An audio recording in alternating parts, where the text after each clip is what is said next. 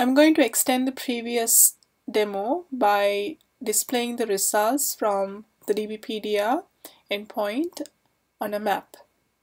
So we have the same setup as earlier, uh, but I have removed the label. Instead, I'm going to add the Google map. And I'm going to set the width and the height to fill the parent. Now in the blocks editor, in the retrieve results,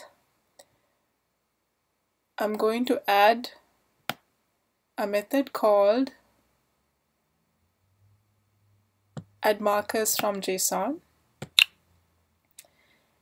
And notice that it requires a JSON string. So this has to come from the linked data component.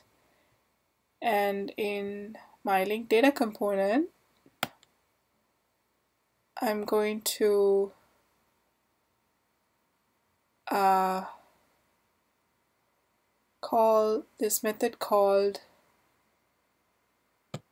results to simple JSON and I'm going to feed the bindings from that uh, results. That's all and when you run this app you should see the markers on a map.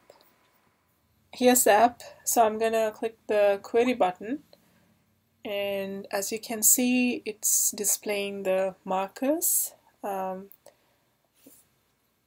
near the location that I specified in the query.